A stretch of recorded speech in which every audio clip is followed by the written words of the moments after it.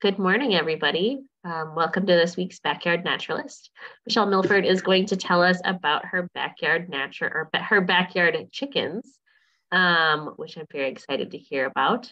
And um, thank you to all of you subscribers who are here, to all of you Urban Ecology Center members who are here. You make it possible for us to do this. Um, and so without further ado, I give you Michelle. Hello.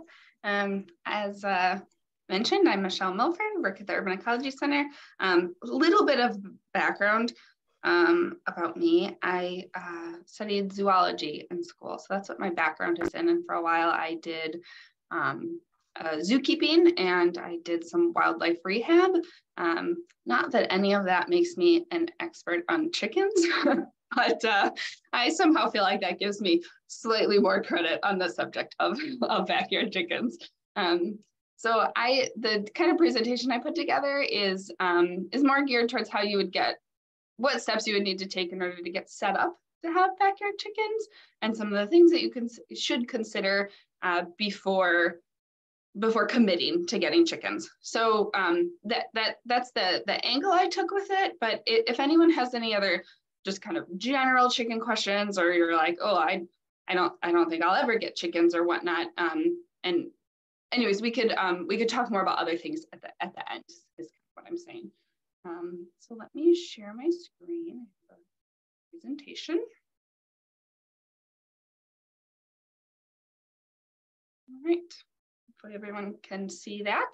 Um, so before we started, we were talking a little bit about um, about bird watching and uh, chickens are not native native birds.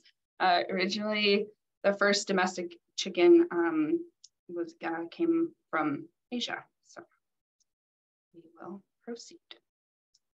So I always like to start with why people should get backyard chickens. Um, these are just a couple of the reasons. I'm sure the list could be much longer, but I think that these are the ones that are uh, most notable. Um, obviously, the first one is fresh eggs. Uh, I think um, that is probably the reason that most people get backyard chickens, and I think it is a great reason.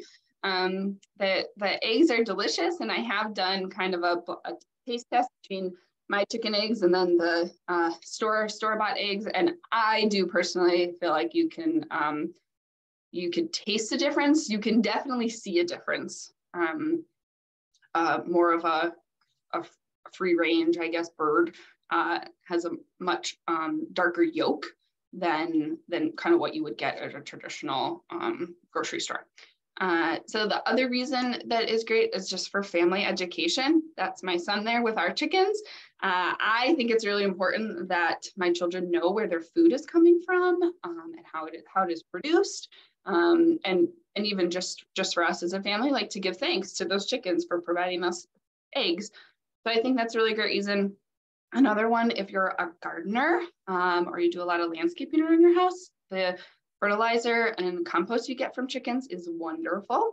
Uh, so you can, I think what, what some people do or what we do is um, you can kind of till up the soil that is under their coop and then move that and add it into your compost. Um, and it just adds a, a, whole lot of great nutrients and things like that um, that maybe you couldn't get otherwise. And then um, food waste reduction, uh, that is that is just a huge worldwide problem, right? That we have that we have a lot of food waste. And chickens are a great little garbage disposals, is what I like to say. Um, towards the end, I talk about what chickens can and can't eat. You can't give them everything, but they will they will eat up pretty much all of your food scraps, which I think is a huge benefit. And then I wrote pest control in there, probably not one of the main reasons people get chickens, but I think it's notable. Um, they love insects uh, and um, the um, oh I'm gonna I'm gonna mess it up. Those little green bugs, that uh, Japanese beetles that are very invasive, uh, they love absolutely love those. So um, I mean, just just there, I think is great, especially for our yard. We have very few of those. We also were having kind of an, an ant problem um, with the ants coming up towards our house, and the chickens took care of it once I let them out of their coop. So, um, so there's there's that too. So kind of what you want to think about before you commit to getting chickens. You know, if you saw all those reasons and you were like, hey, this sounds wonderful. Um, one is where are you're going to put them, super important. Uh, are you ready to care for them in every season? This is this is something when I got chickens, um, I didn't think about the winter, and uh, that that is it is kind of a I wouldn't say a downfall, but it is a little bit of a bummer when you have to go out when it's freezing cold and shovel their coop and um, you know still do all of your normal chicken chores in the freezing cold. So i always tell people before you decide that you want to get chickens just make sure that you are ready to uh, tolerate every season to care for them um, the other thing is you do kind of have to have at least some sort of support network or um, get onto a facebook group uh, or, or something like that there are a lot of there's a pretty large chicken network um, of people who would probably help you care for them if you had to go on vacation or something happened. Um, but that is just like when you get any pet, right? That's something to consider is what's going to happen if, if you're not around. Um, and then one of the more important, just logistical ones is what are the permit rules for keeping chickens in your city? Some cities don't allow you to have chickens. Um, and so obviously you, you, shouldn't get them. Um, I pulled together um, the city of Milwaukee's chicken rules. Um, kind, it's pretty, it's actually pretty basic for most cities. I think this is kind of standard. Um, up to four chickens are allowed, um, only laying hens, no roosters. And I said laying hens because you can you can't um, have any, uh, they call broiler chickens. So those would be the chickens that you would get with the intention of eating. You cannot have those in the city of Milwaukee. Um, although that is a um, that is also a, a, um, a good, you know, kind of sustainable way to, um, to get meat for your family. Um, if that was, if you're outside of the city of Milwaukee, you can look and see if that is something you would be interested in. I personally um, get very attached to my chickens, so I don't think that that I could do it. Um, but it is a great way to, um, you know, you know that the chickens were treated well, um, that it, you know, it of course depends on depends on your ethical code, but um, some people really kind of swear by that. Um, so then some of the other ones are more just about the coop. One of the things that uh, I want to note is that in the city of Milwaukee, it has to be raised off the ground or placed on a hard surface. And um, so I'll I'll talk about um, coop structure in, in a bit here. Um, but so wherever you live, just make sure that you look up the rules and um, make sure that you're following them because once people start to go out of the rules, that's when then cities kind of say, you know, we're we're not gonna we're not gonna let people have chickens anymore. So we want to follow the rules so that everyone can keep having having chickens. Um, I'm gonna pause there real quick. Does anyone have any questions just on that first little bit? We can also do, you can also save questions for the end, but I had thought while I was on top. Looks like no. So, um, so step one in getting chickens would be uh, choosing your breed. And I think that's kind of a surprise to people because I feel like they just go and pick up a chick or a chicken and like here I am. Um, but chickens are very much like dogs in that they have uh, very different personality traits. Um, and for at least for like one of the main reasons that people get chickens, which would be the eggs, um, they do a, lay varying amounts, right? Some some produce a ton of eggs, some produce less. Um, there's different color eggs, there's different size eggs. So um, I I always say that you should choose your chicken breed like you should choose a dog. Um, in a past life, I trained dogs as well. And one of the problems that I think I always saw is that people chose the wrong dog breed for their family, right? Like if you if you have a more of a sedentary family, if you don't like to to get out a lot, um, probably a German Shorthair Pointer is not the dog for you. So likewise, um, with chickens, you know, if you if you have a family and um, you want your chickens to be very very friendly with them, then I would choose a chicken breed that is known for um, you know being being friendly towards towards children and that kind of stuff.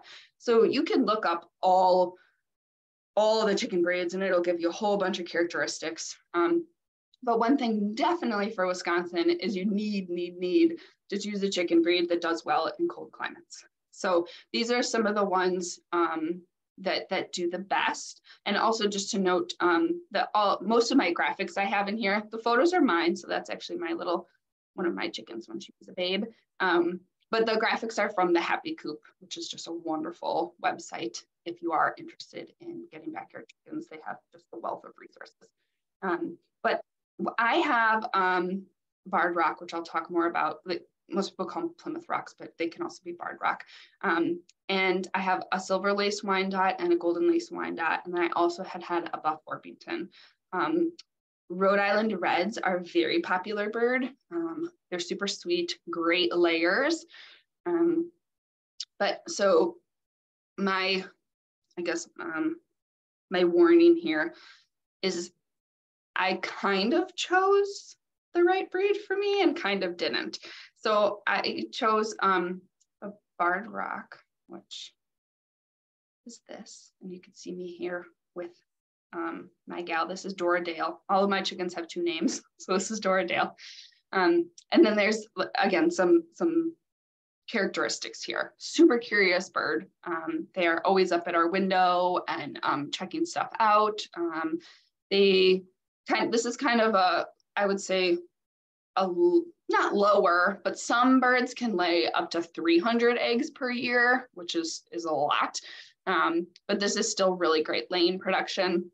This here says that egg producti productivity declines about the third year, but they can lay for up to 10 years, which is big. A lot of birds can lay around like five to six years. So, um, so this is also kind of like, while they may not lay as many, they have much more longevity. Um, and then the reason that we got one is because they're just so great with families and they're, they're super sweet birds. They let us pet them and, and, and hold them. Um, the warning I was talking about is I have a silver laced Wyandotte and a, um, a golden laced Wyandotte. And I got those two birds because they were pretty, which you should not do unless that is your goal, right? Unless you just want pretty birds, then you're choosing the right the right breed. Um, but Wyandottes are not always the nicest birds and they can be a little bit aggressive. So um, looking back, I, I wish I would have gotten more buff Orpingtons or more, um, more rocks instead of the Wyandottes just because they're pretty. So once you choose a chicken breed, um, well, you have to get you have to get them, um, and you can you can certainly go to somewhere like Farm and Fleet or, or any of those. But you can also find a lot of great local resources um, of farms that have um, laying hens. So, and that you want to be really careful too that you you ensure that you are getting hens and, and not roosters. So wherever you go, make sure that they are very good at sexing the chickens or the chicks. Um, but so there's a couple different ways in which you could go about this. You can get hatching eggs. Um, that's a lot a lot more work and i would i would recommend against it. Um, i also do not have a lot of experience here. Most common you get chicks uh, which is which is fun. Then they tend to imprint on you which is great. And um, but it is still slightly more work right in the beginning. Um, you could get them when they're in this in between stage between chicks and adults. Um, this i would say is probably the the e- one of the easiest. Like you'll still bond with your chicken when they're young, um, but you won't have to deal with them when they're all clumsy and falling in their water. um, and then they'll start laying more quickly too. You could also adopt an adult chicken, which is a wonderful, wonderful thing to do too. I know a lot of people like to get the chicks simply because they're cute and they're you know little baby chicks and and all that. But um, adopting an adult is great. The only thing about that is you don't know their age. And so you may be getting a chicken that is at the end of her, um, like her like laying productivity. Um, so you just have to be mindful of that. And then the other thing too I wrote down here is remember chickens don't like to be alone. So they do like to be in flocks. So while if, you know, city of Milwaukee, you can have um, four birds.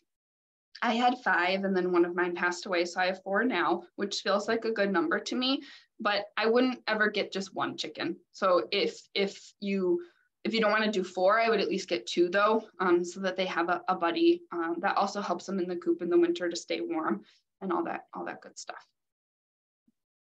Any any questions on this like preliminary picking your bird?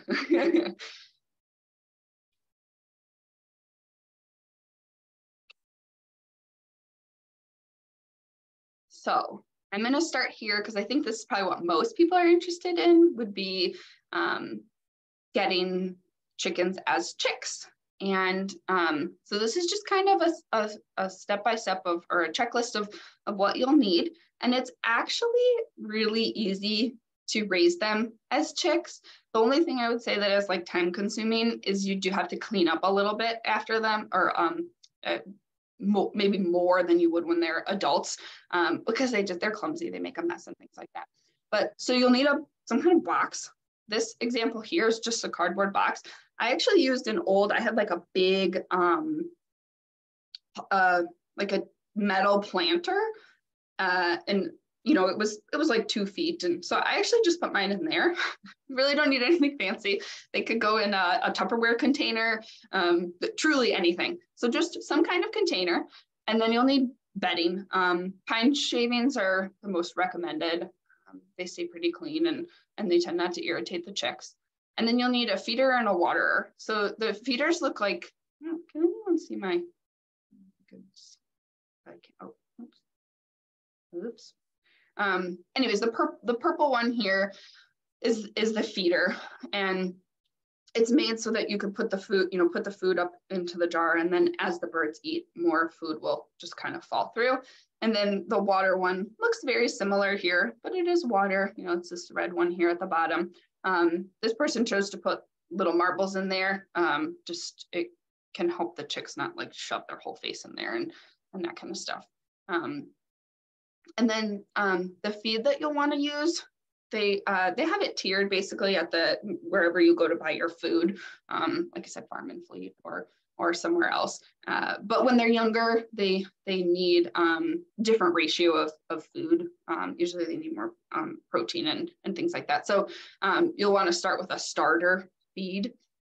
And then um, you don't have to get vitamins, but you can. I added like a vitamin supplement into their water just to make sure that they were growing up healthy.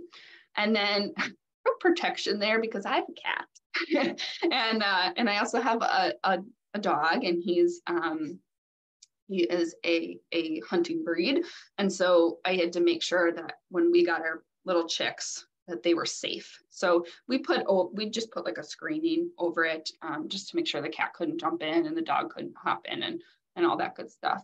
And we actually um, slowly introduced our cat and dog to the, the chickens. So now they're very comfortable with them. Um, it's actually hilarious because my chickens imprinted on the cat and uh, they'll follow him around. Sometimes I'll bring the cat outside and they'll follow um, my cat around and I think the cat is like, what is what is going on here? And the chickens are like, so it's very cute. And then the last thing you'll need, which is super important when you have little babies, is a heat lamp. And that's what this silver thing is here.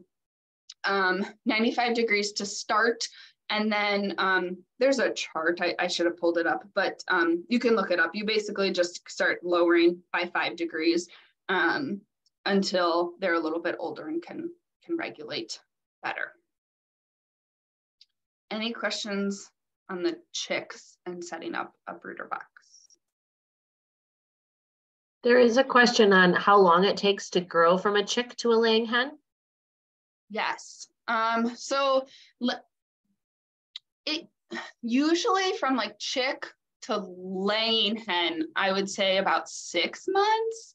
Um, and that's when they'll actually start laying an egg, but they'll start looking, you know, more more and more like an adult at, at like three or four months. But then it takes them a little while to actually start their egg production. Um, so it's really not it's not very long. um, and uh, so I would say honestly, they're they're probably in their brooder box for. Oh, and I will I will double check on this and follow up because it's been a while since I did the brooder box. um, but they're probably only in there about a month or two, um, and then they could be moved once they get in their their new feathers. Um, and I have a picture too of when they start to look more. They're in that in between stage, which is pullet. Um, and uh, we could take we could take a look at what you know, as, as, they start to transition between chicken, chicken. But yeah, but about, about six months or more until they're actually going to start laying an egg for you. Um, which is a good question. I would recommend if you were going to get chicks, actually, like in the endish of winter is a great time to do it because you can do all of this brooder box indoors during the winter and then when they're ready to move into their coop in the spring it's you know it's nice outside and you won't you won't have to heat anything outside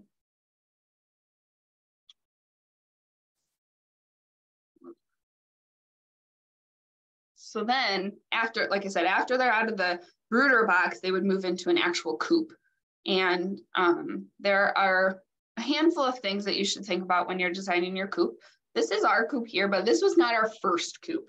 Um, I'll show you a picture of more what our first coop looked like, but it can be extremely basic. This is this is like a lot more, I don't know, more involved. You know, this is when we decided like, yeah, we're committed to chickens and we built this. Um, but most of them look like just this little structure here. So I'll just start with number one here. It says the coop must be waterproof you know, you don't want your chickens being soaking wet. So that's basically just saying that you have slanted, slanted roofs so that any water is gonna um, go off and not in and down. Um, and then two, it says must have enough space for your chickens. Um, so usually they say, I think two, two to three square feet per chicken they need. Um, but I always, I would go bigger. I mean, I think the reason too you're trying you're getting chickens, right, is um at least for me, is that then you know that they're having a good life, you know, and that um you're you're getting your food from happy hens. So um when you're looking at the the space confinements for them, I would kind of I would just use your best judgment, right? Like I would look at it and say, I was a chicken, would I be happy in there? um, which is kind of a silly way to look at it, but um, I, I think that you want your chickens to be happy, right? They're kind of going to become a part of your family. Um, and then the, the coop needs to have some kind of ventilation. Um, a lot of, so like, uh, it's hard to see in, in, this picture, but we we have some gaps in between where the um, like the actual box is so that it gets it gets airflow in there. Um, a lot of coops will actually just come with a vent, which is great, and you can open and close it. Um, and those are the ones that you'll you'll you could buy offline, which there are so many different coops you can get online where you don't have to build anything, you can just buy one. Um, and then four, they have to have nesting boxes, of course. Chickens like a place they lay their eggs and then a place that they sleep or roost. So the nesting box in this picture is this kind of um, little thing that juts out here, um, which is then also where you would just be able to easily lift up the um, the latch there and get the eggs, which is super. And then five, um, roosts need to be need to be fitted in. So obviously you don't want the roost to be loose because the chickens could fall off and then you're gonna always have to be in there uh, uh, fixing it, obviously. Um, but the other thing too is you don't want your roost to be too wide or too skinny because that could be very bad for um, for their feet. And so you want it about probably about two inches is the roost. And um, most of the coops that you'll buy offline have a have a standard roost roost size, so you don't need to worry about it at all. But if you are building your own, um, and you're using any kind of like rods or things like that that you get at Home Depot, you know they have those wooden circular rods there sometimes.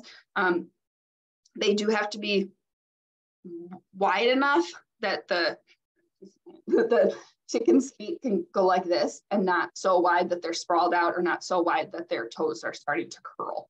Um, so that's just important uh, for the longevity and, and healthier chickens. And then um, number six, six, they need some kind of outside roaming pen area. Chickens, like everyone, want to be outside and, and want to feel the sunshine. So want to make sure that they have um, an area to be outside. They are also um, instinctually, they're going to want to scratch and dig up at the soil and try to find bugs and stuff. So um, giving them an opportunity to do that is very important for their chicken mental, mental health. And then um, this is important, the coop must be uh, predator proof. Uh, if it is not, you will learn that lesson very quickly. And it is a hard, it's a really hard lesson to, to learn. Um, so I would think when you're making your coop, think about the latches you're putting in, think about how smart raccoons are and that they do have, you know, the ability to open um, open things. So you want to make sure that uh, it, it, it, you're making it difficult for anything other than you to get in there. Um, one thing that we did along the edge of our chicken coop, um, we had had a fox that was trying to dig under the coop to get in, which is very, very common. And so we put in, they sell these metal stakes basically, and they, you know, you put put them into the on the on the outside of the coop and they go into the ground so that when an animal tries to dig under, they hit the metal. Um, and then and then you can obviously repair where they started to dig after you see that happening. So here are some examples this one up here, aside from this metal roof, the gray one, um, can you see my cursor or no? Yep, we can. Okay, good. I just wanted to make sure that like when I'm pointing that you can actually see it. So the aside from the metal roof here, this is actually one that um, a pretty good example of one that you could get online. And so, you know, they have the, the box all set up. This is where you would open it and then you can um, muck out the pine shavings as you need to. Um, this here is a good example of a built-in ventilation system, right? So you can unlatch it and then let some air in there. And then this, of course, is their outdoor area, which is really nice. And it's super cute. That's what I love about chicken coops too. They're adorable. Um, I put this one in here as a good example of what it looks like on the inside. So this is where the chickens would go in here and then um, where they would lay their eggs. And then the this person has it where it kind of drops down and then they grab their eggs. Um, and then these are the roosts here. And the roosts are really important. That's how they like to sleep and hang out. Um, I have seen people build chickens uh, roost swings, which is super fun, and the chickens love it. Um, so you can get really creative with, with your roosts. This one over here, this red one, aside from the window, this is the chicken coop that my husband and I built. And so we just found plans online and we built this exact one again without the window because at a certain point we were like, okay, this is enough. and then um, this one down here in the corner, this is another great example of one that you can buy online. This is actually almost identical to what my first coop looked like. So it was it was pretty basic. They they were just able to um, have an area in here to roost, an area to lay their eggs, and then an area to come out and explore.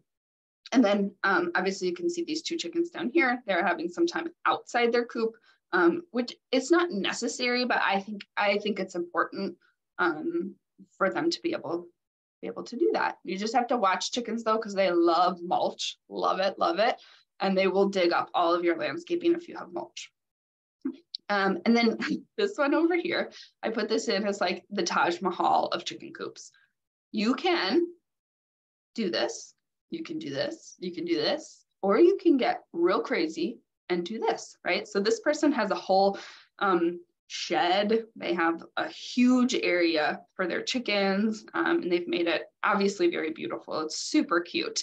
Um, there, I think, like with most things, there are people who are like me, we're just kind of like in the middle. I, I like my chickens. I I think I treat them pretty well. And then um, there are people who are not below me, but just on the other side of the spectrum who are just kind of like, yeah, I got chickens. And then there's people on the other side that are like chicken experts, and they are um, they're they are set up like this for their chickens, which I would love to aspire to that, but certainly I'm not there yet. Any other questions on, on coop setup? And like the, what the chicken needs. And I would say too, like, so any of these, this one, this one, this one, easily could fit four chickens in there. So you would have no problem in any of these. Four chickens would be happy in those.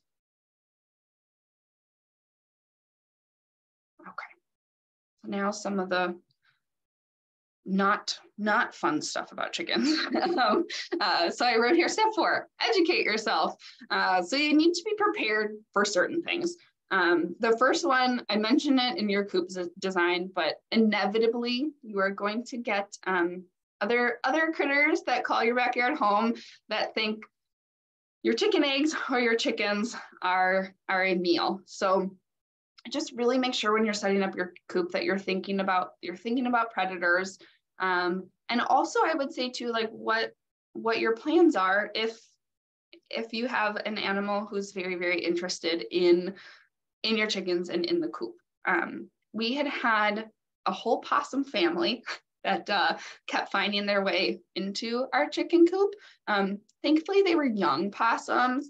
They were coming in through a hole. This was before I discovered the um, uh, the the metal spikes that you can put in at the uh, bottom perimeter of your of your coop. Um, but every night for three nights, a uh, young juvenile possum was coming into the coop. One, because it was warm, it was very warm, so they were doing this in the winter. And two, they wanted to eat the eggs. And so um, what we did is every night we caught baby possum, and then we brought them over to a um, uh, an, an SNA, um, and so that they could live their life there instead of in in our backyard terrorizing our chickens. Um, next one is molting. I think when this happens for the first time, people are very alarmed. It is when a chicken replaces all their feathers. So they'll lose, they'll they usually start, they start to lose their feathers up at their neck. And then when they grow in, it looks very bizarre because you, you have chicken skin and then this like spike grow, growing out where the feather is, go, is going to come out. Um, it's cool. It's cool thing to see, but at first you're like, oh my gosh, what's happening to my chickens? So if that happens, it's totally fine. Usually when they molt, they don't lay eggs though. So that's another thing just to keep in mind is that when they're going through that, they're they're giving all of their energy to molting and not to their egg production. So um, it's just something to keep in mind. Thankfully, I've never had to deal with this one, but it is something people should know about. Broodiness is when a chicken decides that um, her eggs are going to hatch, and so she'll she'll sit on them 24 hours a day you know trying to make her eggs ch- hatch. I think it's actually really sad because you know it's a, basically a mother willing um, babies into her life. So it's it's not super common but it, it does happen um, and there's ways when they get broody um, that you can kind of help them through that. Uh, the, the best way though is to remove the eggs as quickly as possible from the coop so that they don't have an opportunity to become um, broody. And then four, I've dealt with this one a lot. Um, chickens have a very, very strong hierarchy within their flock unit. Um, so there will always be someone at the top and someone at the bottom. And unfortunately, that does result in bullying. Um, no, I, I guess I said I dealt with it a lot, but it just seems like every year I have one poor chicken who's getting picked on as they establish their pecking order because it can change. Um, the only time I had to intervene was they, um, one of my chickens had gotten pecked in the face. Chickens can become very obsessive then. So then all the other chickens started pecking because she was bleeding and they were they essentially got like obsessed with that. And so I had to remove her from remove her from the coop, treat her wounds, um, and then slowly reintroduce her back into the flock. So that was a little bit, um, you know, these are the kind of things I think people just don't think about. Like it obviously was more time consuming and I had to spend a lot of time with that one chicken. Um, but it resolved and, and it was okay. Um, and then time outside the coop. Uh, this one, like I said, it's not necessary, but I just think it's really important. And it's also a great way for you to bond with your chickens. They'll uh, follow you around the yard if you if you spent a lot of time with them when they were chicks. Um, my chickens know that when I say chicky chicky chicky, that uh, it means I'm going to give them treats. So uh, I would also recommend doing that if you get chickens to give them some kind of call. They're very smart um, and they can learn basic commands and especially a, a, a, like come here call. That's a very easy one to teach. Uh, just like with a dog, um, you just want to come up with some kind of command. I did the chicky chicky because I thought it was cute. And then every time I say chicky chicky, they get a treat. And so now they know when I do that.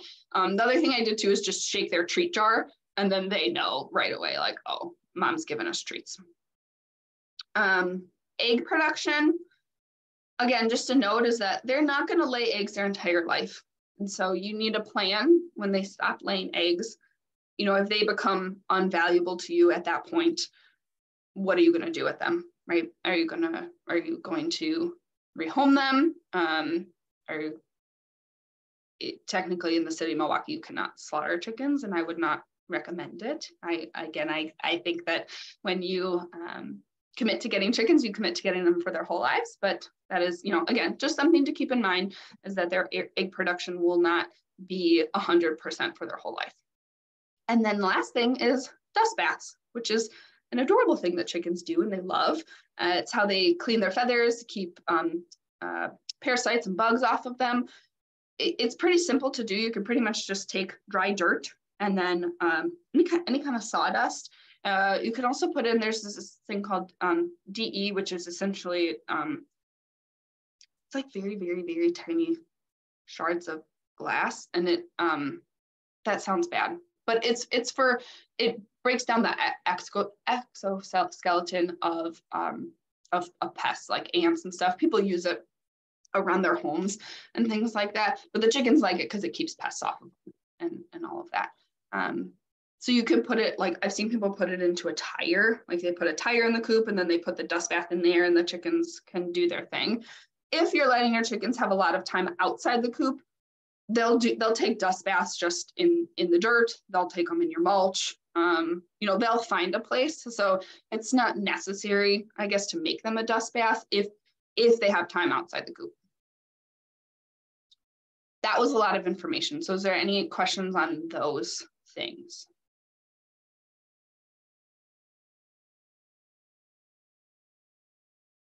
How often do they molt? What was that? I'm sorry. How often do they molt? Oh, molt. Um, probably once a year is pretty typical. Um, so you'll just be there'll be a, a brief period in which, like I said, they stop laying. They don't all stop laying, but mine mine never lay when they molt. So I don't know if mine just are lazy or what, but um, yeah. So I would say once a year, maybe year and a half. You know. Um, by DEE, uh, DE, do you mean diatomaceous earth? Yes, I do. Sorry, I do. Yeah. Okay, I didn't know that that, that that's what diatomaceous earth was. Ground. Yes. Earth it's so the and you know we could again i'm not an expert on that for sure but um, from what i've read yes it's it's very very small i guess not glass but like to an to an ant it would be sharp super sharp and then it um it breaks and it dries out their exos exoskeleton sorry i cannot say that word um and then i mean ultimately it kills them um but the the chickens like it and it keeps them healthy so how long do they live? Chickens? Yes. Yeah. That depends uh, on a number of factors, but I would say you can probably, I would say it's about a 10 year commitment. Oh. Yeah. Um, but a lot of chickens will only lay, um, like lay well for maybe six ish years. Um, so that's two where you kind of have to decide, you know, what's going to happen when your chickens stop stop laying, right? Just so that you have a plan, a plan for that. Yeah, Vivian, here the question. It seemed, uh, in the winter, or you look at those boxes that you buy, it mm-hmm. seems that they're kind of small. Uh, yeah. I mean, you know, for being in in the winter. I mean, in the summer, it's wonderful. You can let them out, uh, and I mean, they get more more food, and you know, yeah, because uh, just if they're right near you, all they're going to do is they'll eat up any greenery that's in their little tiny patch uh, in a few days. So that you have to totally keep giving them scraps or something and you know how do you manage indoors and outdoors and yeah yeah so um that's also back to um choosing a winter hardy breed which is very important uh, so that they can have a fulfilled life in the winter as well. I do let my chickens out in the winter still. Uh, they don't love the snow, but usually what we do is we'll snow blow a path for them so that they can still walk around. And uh, there's not much for them to eat at, at, that time, but they still like to get out. You know, they still want to be outside. Um, I mean, like anyone, they don't like to be out when it's below zero. But if it's, you know, like it is now, like thir- a 35 degree day, they're, they're fine. They'll, they would love to come outside. So again, I think that that's part of the commitment though, is that you have to be prepared to do those things in the winter. Um, they'll still, they will be okay though, if they're in a smaller coop for the winter. You know, is it gonna be, at, you know, them living their best life as they do in the summer? Probably not, but they'll be okay. Um, one of the reasons though, you do wanna keep their, their inside space small is because of the winter though, because that's how they're gonna retain heat you don't want to put any kind of um, lights in your chicken coop because if something were to happen and something caught fire, you know, you yes, it, it could be very bad. So I definitely recommend against any kind of heating source like that um, once they're in an outside coop. You you need it when they're in a brooder, but you're checking on them every single day, you know, so you're there's a very low chance of any any kind of accident happening. Um, and the other thing too with some of those heating sources is if you're not checking on it all the time, the birds can overheat and, um, you know, just not good things can happen. So that's why you want your coop to be the, the inside portion of your coop to be relatively small so that they can huddle together and stay warm. And, and then it also just helps too with cleaning, you know, if you have a larger area to clean and whatnot. Uh, yeah. Thank you. Yeah, of course. So, oh, and I should say this picture just cracks me up too. So again, this is my chickens and they uh, go outside a lot. This is our, our patio and they like to roost on our patio furniture. And you can see there's my dog who has no problem with them and they all hang out together. So you can have a very fun little family unit with, with chickens. Um, so then the last thing, I do have some facts to end with, but the last thing is spoil your chickens, love them, um, hang out with them. This is my daughter when she was young. She's four now, but she was, um, I don't know, maybe like nine months here. And she loved sitting in the window and watching the chickens come up and they would you know she'd peck the glass with her finger and then they would peck the glass and um, we just had a lot of fun and you could see too it's winter there's snow on the ground and my chickens are still outside hanging out and um, so I put here some of the foods. I think that's a very easy way to spoil your chickens. Mine personally love grapes, peppers, zucchini, and cilantro. Those are their favorites. And then insects and mealworms. Um, my daughter, like I said, she's four now, and we will go around the yard and like on um, tree branches and things like that, and we'll collect bugs for the for the chickens and then throw them in the coop. And it's really fun to watch them go to town and uh, on some of the insects that we do not want around. And then there are things though that they can't have, um, mostly because they contain toxins that are poisonous to them and can kill them. So um, the outside of an apple is okay, but the core, the seeds are very bad for them. So I just don't give mine apples at all, just as like a practice for me. I don't want to get in the habit of giving them apples. Um, uncooked beans, they my chickens love tomatoes, but they can't have unripened tomatoes. So green tomatoes, um, and then avocado. Technically, there's parts of the avocado they can eat, but similar to the apple, there's parts they cannot eat. So again, I just best practice. I just don't give it to them at all. And then chocolates and sweets, dairy, those kind of things probably shouldn't um, be given to your chickens. So then I just have some fun facts again from this Happy Chicken Coop. It's a, I cannot say enough good things about this website. They're lovely. Um, one thing on here is that chickens know who their owners are, and that is hundred percent true. They they know who I am. They can recognize my face. They know my kids now. Like I said, they know my cat. um, um, the Wyandottes are, are won't let me pick them up, but they still know that I give them food. Uh, the other chickens though will come up and let me pet them and, and pick them up and all that good stuff. Um, I think this is a funny one she put in here that the earliest chicken joke dated back to 1847. Some of the other ones here I wanted to try. Oh, chickens are smarter than babies. Uh, there are tons of people that clicker train their chickens and can teach them tricks and and I, I am not I'm not that person uh, but like I said my ch- chickens do have a a call so that um, I can I can call them back to me when they're outside their coop but you can do a lot of cool cool things with chickens.